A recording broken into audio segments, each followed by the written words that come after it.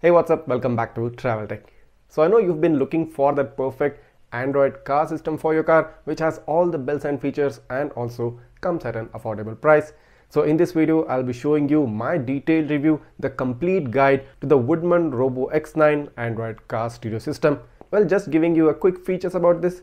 This Android system has a 4G SIM enabled, which means you have internet on the go. It has one of the best displays available on a car system. It has got wireless Android Auto and wireless Apple CarPlay.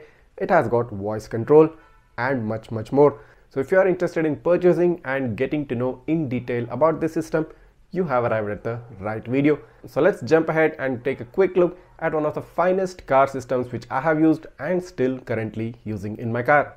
Let's get started.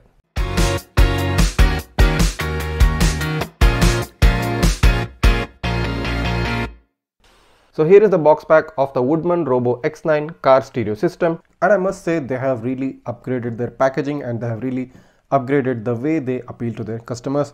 Now there's a new Woodman logo on top and at the bottom it says India Ka Apna brand.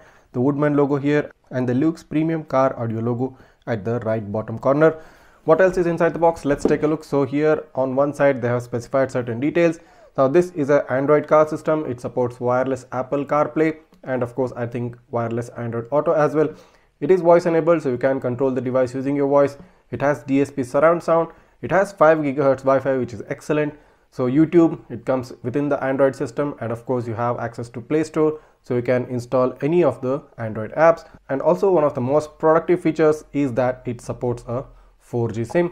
On the other side there's nothing else written and here they have specified that Woodman is an Indian audio brand dealing in audio systems for the past 20 years. There's a sticker here which gives some details and it says this is a Woodman Robo X9 lag free Android stereo and it has got 2 year warranty it says on this. The car name is WRV because my car is currently a WRV and the MRP given on this is 40,000 rupees but you're going to get it at almost half of the original price given here.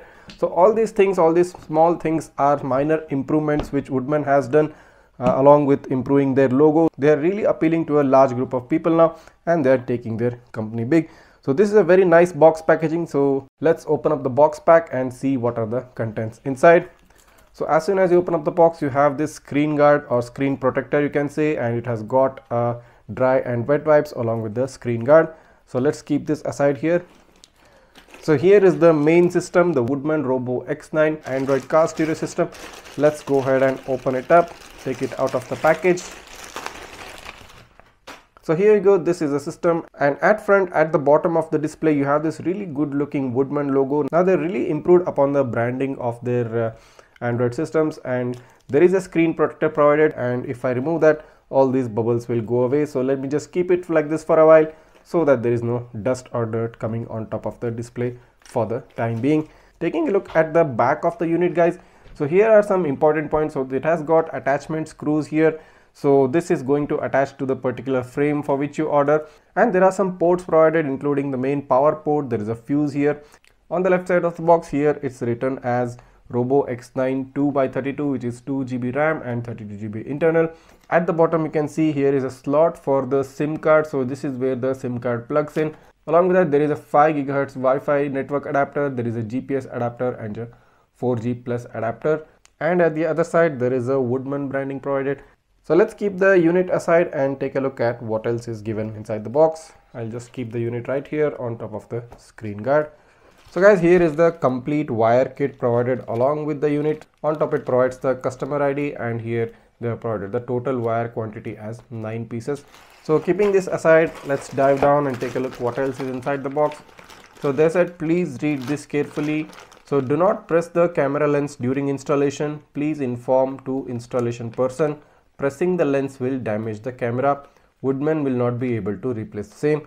So they have provided a warning here so that nobody presses on the camera. It might cause some damage to the camera. So here is the reverse camera guys along with its connector cable and uh, here is a hole saw in order to cut a hole into your rear bumper so that it can accommodate the rear camera. So everything is provided within the box. You do not have to purchase any of the wire kits separately. So these are things which are going to get inside the box. The main Robo X9 unit, its connector cables, a free screen guard and a free rear camera along with its connector cables as well. So let's take a look at the technical specifications of the Woodman Robo X9 Android system. It has an octa-core ARM Cortex A55 processor with a processing speed of 1.6 GHz. It has got a 2 GB DDR4 RAM and a 32 GB internal memory. It runs on Android 10 operating system and the screen display has a resolution of 1280 into 720p that is a high definition resolution and it is a LED display. It has got a 4 speaker output of 60 watts with a DSP Pro of 36 equalizers and in terms of network connectivity it has got a 4G SIM slot along with a 5 GHz Wi-Fi network.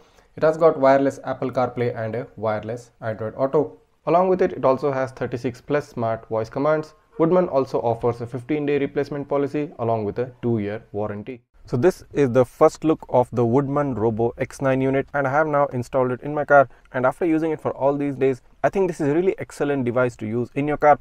So first of all, let's start up with showing you the home launcher. So this is an Agama car launcher and I personally prefer this launcher because this suits any car interface and it provides you all the information which you need and the entire home screen is customizable which means you can change any of the options which are currently being displayed right here. So starting with the center console as you can see this is a compass in the middle. So if you just want to change it you can just click on that and you have so many other options. You can either display the logo of your car or if you don't want the logo you want the navigation to show up in the middle you have the navigation option. Following this you have the compass as shown before then you also have a music player which will display the thumbnail of the current song being played by the music player. Following that you have the speedometer. So once the GPS connects, now since my car is currently standing under a building, the unit is not able to catch GPS. But once I go out into the open road, the GPS signal will catch and it is going to show you the live speed in the middle of the console and lastly you have a clock right here well you won't be needing it because you already have a digital clock on top but if you're someone who prefers an analog clock and the date and day being displayed you also have that in the center console now here on top you can see the 4G logo and this system supports dual SIM which means you can have two SIMs together and you won't be running out of network. So this is the GPS logo and now it is currently showing as 3. So this means 3 satellites are currently caught on GPS. So this is the current temperature and here is the voice control Following that, the auto brightness setting. Finally, the settings of the system. You have certain other options such as radio, navigation, music, phone, internet and apps. All of these are customizable and you can change it to any other app and you can change the names of those buttons as well. So what I personally liked about this Agama car launcher is once you head into the settings. So as you can see, there are three options in the design menu and uh, let me just go ahead and zoom in to show you more better. So this is so these are the three options the theme editor, theme presets and theme editor options. Now this is the one which I like personally the theme presets option. This presents you with a preset theme and you can choose any among those. What you can do is just click on any of the themes which I have provided right here. So for example this is a black AG so if I just click on that the theme of the device changes and now it is full black with the orange colored buttons and orange color dash as you can see the second clock is being ticked by the orange color here.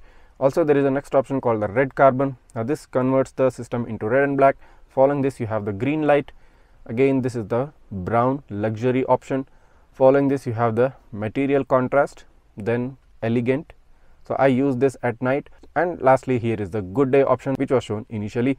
So i can select any of these presets. So let's head on to the black ag and just click on the apply button. So here you go. The black preset is now applied and it shows up the home screen in that particular preset. Now i really like this because this interface this agama car launcher interface on the woodman robo x9 gives you a really professional feel makes you feel like this was provided by the oem by the car company and this is not a third party installation also guys talking about the form factor and the finish. So as you can see the frame was provided by woodman. And if you can see there is no difference between the frame which was originally present by honda company and the one which the woodman has provided. There is no gap or improper fixation. The frame is perfect fit for my car. And of course it will be a perfect fit for any of the car for which you are going to order. And this frame doesn't look like it is a third party frame. This looks OEM this looks as if it has come from the company following this I need to tell you some really useful features which Woodman has now implemented in this Woodman Robo X9 and one of the important features is the voice control so if I just click on the voice control navigate to Bangalore so as you can see, the Google Assistant works flawlessly well. You just have to give it a voice command and the 4G connection built in. Make sure that you are connected to the internet and the maps open up automatically and everything happens by itself. You don't have to do anything. Currently, it has already opened up Google Maps and finding the best route and there you go. The maps navigation has opened up and it is currently navigating to Bangalore. So I didn't touch the unit at all. I just clicked on the voice control button and asked the Google Assistant to do the particular job and it's done really well. Also the processing is pretty fast for a car system and currently by far based on what I have seen this is one of the fastest responding units in the car systems so let's head back onto the home screen and uh, show you some of the other interesting things. So one of the most interesting and one of the most user friendly or should I say convenient features which Woodman has now provided is there is a scroll down bar at top. So as you can see once you scroll down there are certain options now provided and they are easily accessible by anyone so let me just go ahead and zoom in. So there is a wi-fi option if you want the unit to connect to wi-fi. So there is a specific eye comfort mode which means at evenings if you click on this it will give a yellow tint on the screen. Your eyes won't get strained much while looking at the system at night. If you want you can disable that. Following this you have the data option which is a 4g sim option. So as you can see i have enabled the data. This airplane mode if you want to remove all connections there is an off screen button. Now this is really important because while driving at night the system display might be a bit distractive so if you want to turn off the screen just click on that and the whole screen turns off. If you want to turn it on just tap on the display and the display comes back on. So that's it and along with that there is a clean memory option. So if you want multiple apps running on the unit you can first clean memory and do that. Then following that there is a standby option and there is a reboot option given right here if you drag down the menu a bit more there is a brightness bar right here. So you just have to scroll all the way to the forward for the maximum brightness and scroll all the way down for the brightness. There is also a scissor mark right here. This is a screenshot option. So if you click on that the unit is going to take a screenshot of the current display which is being shown on the unit. As you can see here is the current screenshot. And now you can save the screenshot or you can take a long screenshot or you can cancel completely. You can also crop the screenshot based on your requirement. So i'll just click on the cancel button Following this, you have the settings, Android settings option right on top. So this is the Android settings menu and on top you have the wireless LAN. So if you click on wireless LAN, you can enable or disable the LAN or connect it. You have the data usage option. So this monitors the data. So currently, as you can see, it shows as 688 MB has been used. So I'll just head back. Then following that, there is a SIM info. So currently I have inserted only one SIM which is an Airtel SIM but this supports dual SIM so as you can see there is a SIM slot 1 and a SIM slot 2 option. Following this there is a hotspot and tethering option which can which means you can create a hotspot out of this unit. There is an airplane mode and a VPN mode. Following this let's head down to the device settings. So here is the display option. If you click on the display there is a brightness level which you can adjust separately for day and night so as you can see the brightness light is set at maximum for 100 and the brightness night is set at 0 so you can do that there is a wallpaper option then an auto black screen option so auto black screen means basically turn off the screen after the certain amount of time has passed. So you can select it to never and starting from 30 seconds up to 30 minutes you can select that. There is also a display net switch option. So if you just click on that it is going to show you the current internet speed that current 4g speed. Now this is really useful because someone who wants to know if the current internet connection is working or not you will get a net speed monitor on top of the notification bar. That's also a very convenient feature following this you have the sound options. If you click on the sound option there is a keypad tone option if you turn it on. So as you can see it gives a specific keypad tone whenever you touch any screen option. But currently i have disabled it so let's keep it at disabled. So you can turn on the video loudness or turn it off. There is an amp option there is a power conditioning option. There are options for subwoofer levels if you have attached a subwoofer. There is a equalizer present so you have the equalizer option. There is a field you can select which area of the car you want the audio to concentrate and then you have the surround sound option the stereo sound enhancement the bass enhancement and sound filter. Many audio options are present for those who are into such stuff. Then you have the speed compensated volume so you can vary the sound based on the speed so currently i have set it at off. So these are many of the options present in the sound segment. Following this, you have the GPS option. You have both the GPS and the GLONASS and it shows the longitude and latitude position, GPS status, number of GPS positioning satellites, GLONASS satellite quality, the time and the auto sync. So you have mode 1 and mode 2 in order to enable the GPS. Following that you have the storage option. So let's head down into the storage section. So as you can see it shows 11.83 GB used out of 32 GB and currently close to 12 GB has been used. So there is a store manager which you can enable or disable. In this you have option to remove photos and videos which are over 90 days old. So many of the options are really good and they are very convenient for the usage. Following this you have the apps option. So if you head into the apps it is going to show you the list of all the apps which are installed into the unit So following this you have the USB video output setting and USB device start. Following this into the general settings press any key to start option is present I have just turned it on. Auto start navigation. This means the navigation is going to start automatically as soon as you turn on the car or turn on the device. There is OSD time mirror view on reverse image mute audio when reversing. Now you can turn it off or you can turn it on. Now currently I have set it off and sound reduction when reversing. Now this is also a very useful option. Whenever you put on the reverse gear the sound will automatically reduce down to the level which you have set or you can completely turn it off based on your control. There is a backlight control default volume switch default boot volume GPS mix sound mixing scale lantern settings steering wheel settings is basically where you can set the steering wheel buttons to work with the system. So all of the steering wheel buttons do work with this and that's also a really cool thing.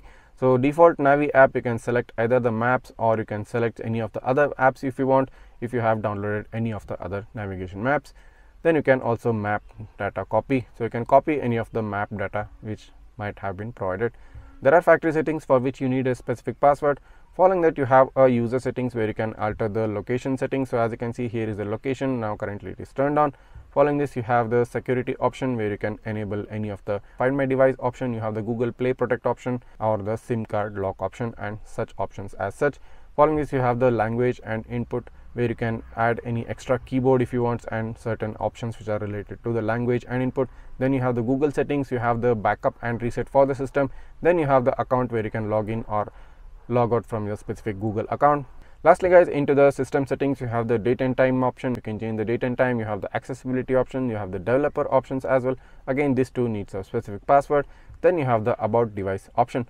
So currently as you can see this is a very important section and i need you guys to see this. So this is the android 10 version and the cpu is an octa core 1.6 gigahertz 2 GB memory plus 32 GB storage. In the system info as you can see it is a 1280 into 720p display. Following this you have the device info option which provides you with the IMEI number of the SIM cards inserted. So these are the Android settings provided and now if you head into the app section of the unit so as you can see here is the Agama car launcher then you have aux connection there is a dedicated app store for the unit itself from this app store you can install any of the themes or home screens which you require you have subsections at the bottom for themes and system apps so if you click on the system it just shows you the system apps which need to be updated and if you click on the theme it shows you a list of the themes which you can download and install in your car unit there is a google assistant option the bluetooth option the CPU-Z app is the one which I have installed. You have a calculator and you have a CarLink 2.0 for Android Auto and Apple CarPlay. Now this unit supports wireless Android Auto and wireless Apple CarPlay. There is a CarBit Link app also installed. You have Google Chrome for browsing the internet. You have Disney Plus Hotstar if you want to watch movies. You have an equalizer and then you have the file manager, gallery, Gmail app, the Google app, Google Maps. You have a default music player. You have a default navigation. If you just click on that, it goes into the Google Maps because we have selected Google Maps as the default navigation. Following this you have Netflix, you have an operation guide, there is Google Play Store, you can install any of the Android apps into the system. Then you have the Amazon Prime Video, you have a radio. Following this you have the Android settings, you have Spotify for music, you have Toppal Voice, Toppal Plus, Touch Assistant, Vehicle Settings, Stock Video Player, Voice Search and YouTube and if I just click on YouTube as you can see YouTube opens up instantly you have a instant connection via a 4G network and you can play videos while on the go if your data plan supports it. So this was the overview, a simple overview of the Woodman Robo X9 unit and I think the display is very crisp and vibrant and the color level is pretty much very accurate. You have touch capacitive buttons here on the left you have the volume down, volume up, back button, home button and the power button. Following this you also have a mic slot and a reset slot right here on the left corner of the screen. So now let's take a look at some of the voice control features of the Woodman Robo X9. So there is a Robo logo right here. You can actually drag it around the screen and place it wherever you want. So currently let me just place it right here. So this Robo mascot being shown on the screen shows that the voice control commands are activated and you can give voice commands in order to control the unit. So which are those specific voice commands and what are the various different things which you can do? Well, I'll just go ahead and show you that. So if I just head into the app section and just scroll down. So as you can see, there is a Toppal Plus voice app here. So if I just click on that, so here are all the detailed voice control options which are given right here and they are divided into subsections such as help section, music control. You can get a radio control, navigation control, incoming call control, video control and system control. So I'll just show you some of the commands which can be used actually. So here as you can see the robo mascot is already up and running on the screen.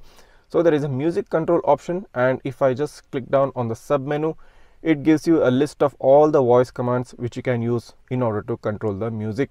For example, I'll just say play online music. So it automatically opens the default music app which I have selected. In this case, it is Spotify. So as soon as I gave that command, it opened up the default music app. And if I say close online music,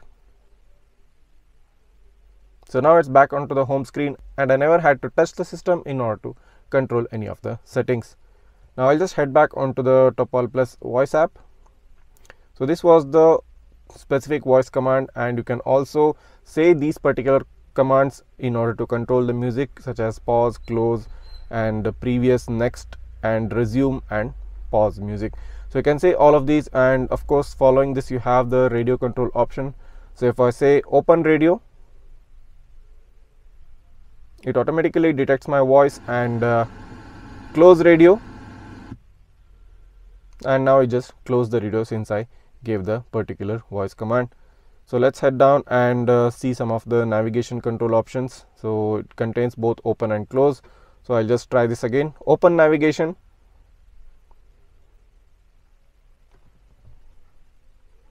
So it automatically opened up the navigation as soon as I gave the voice command and if I say close navigation so now it's closed the navigation and it's back onto the home screen. So following this let's take a look at some of the other voice commands. So you have the incoming call control. You can either answer or reject the calls with just your voice and you never have to touch the screen. There is a video control option so this will open the default video player. And of course you can also open youtube. So as you can just see it opened up the youtube app just based on my voice command and this is something really convenient. Close youtube. And now it's closed youtube and back onto the home screen. Following this there are some other system control options. Again there is a long list of options right here. So you can say turn on wi-fi. So you get a small notification at the bottom of the screen and if i just try to confirm it so as you can see the wi-fi button is now lit this means that the Wi-Fi is enabled. And if I say turn off Wi-Fi now again there is a small notification at the bottom. And if I scroll down as you can see the Wi-Fi logo is now turned off. Mute volume. So now I just muted the volume and you get the volume bar on top showing that it has muted. Unmute volume.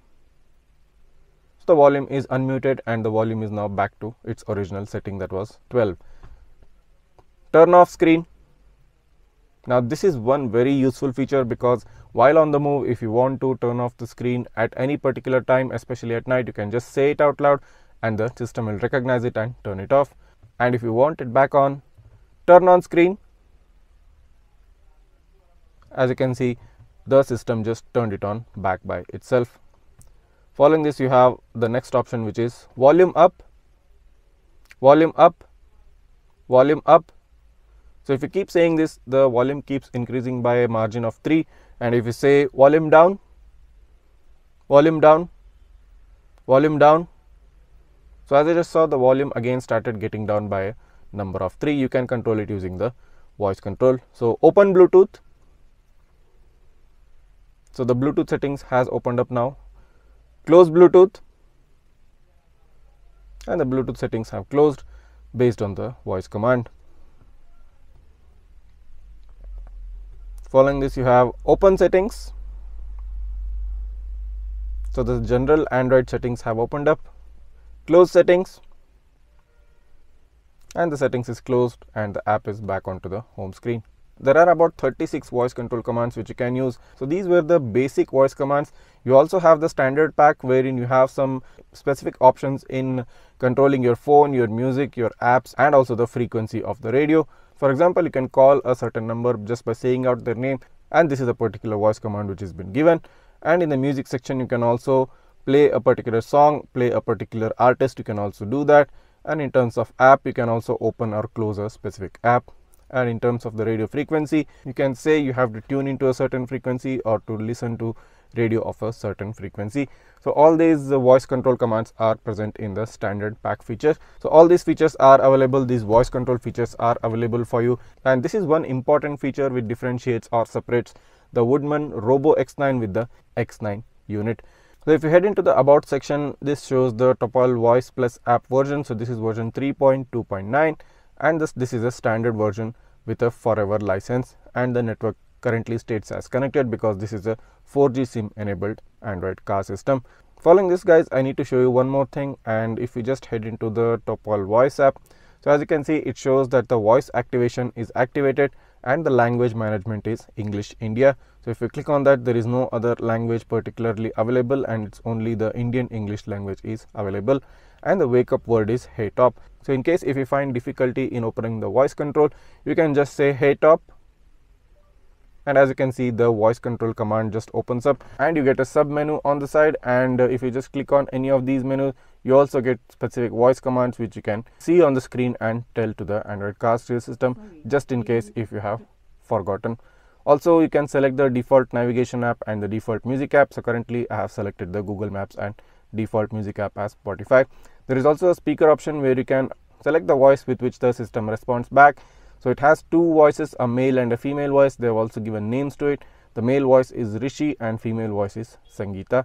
Following this, you also have an option to enable or disable this floating icon. So this particular robo icon can be disabled if I just click on the disable button. So as you can see, the robo icon just went away.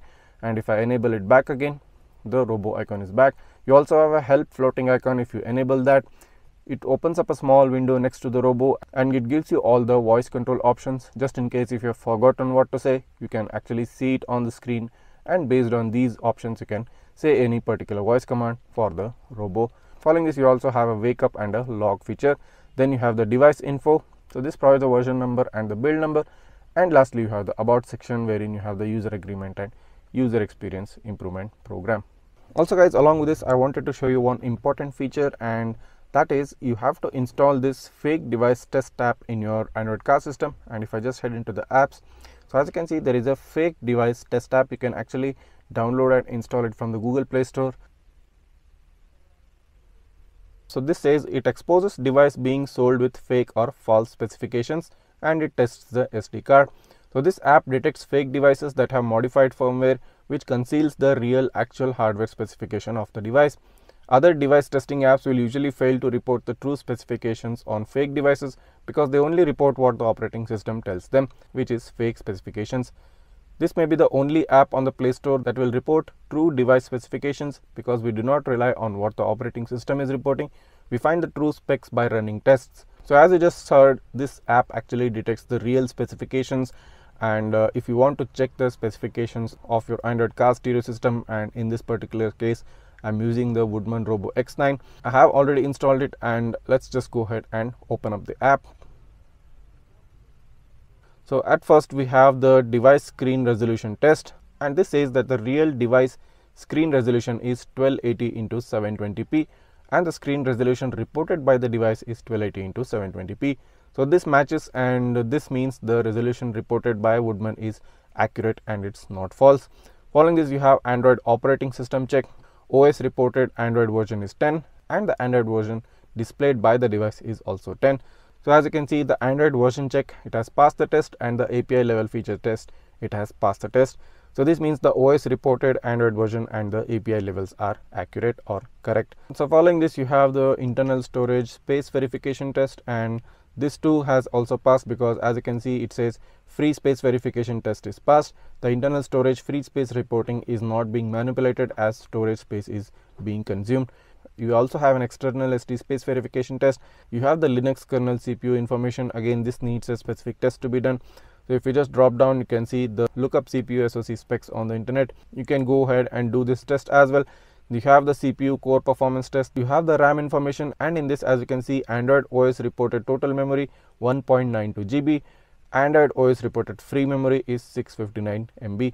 So this means there is a 2 GB of RAM and currently free space is about 700 MB with 1.3 GB being consumed. So if you install this fake device test app, you can make sure that the Woodman unit which you're having is not showing you any fake specs and you can be sure of the specs and the company from which you're buying it. So this is also one important thing which i wanted to share with you guys